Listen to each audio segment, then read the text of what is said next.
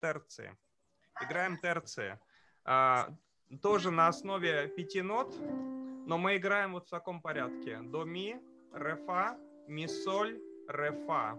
И все заново. До, ми, ре, фа, ми, соль, ре, фа. Вот эти интервалы, до, ми, ре, фа, ми, соль, ре, фа, называются терции. Мы играем по две ноты одновременно. А первая терция, вторая, третья, потом опять вторая. Здесь задачи две. Во-первых, сгибать все пальцы, то есть играть согнутыми пальцами. Во-вторых, соединять ноты. То же самое левой рукой. Попробуй.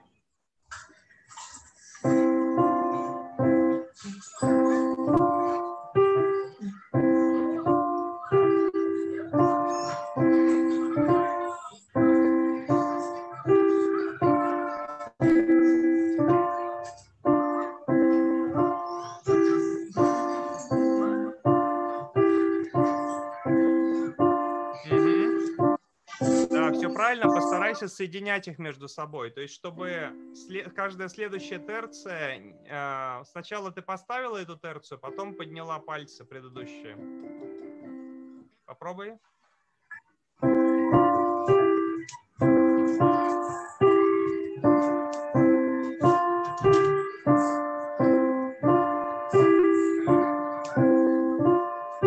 Отлично, молодец.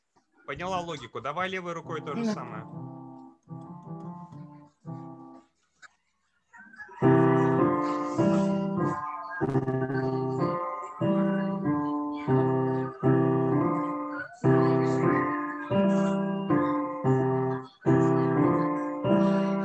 А давай теперь двумя руками попробуем. Запястье держи в это круглыми.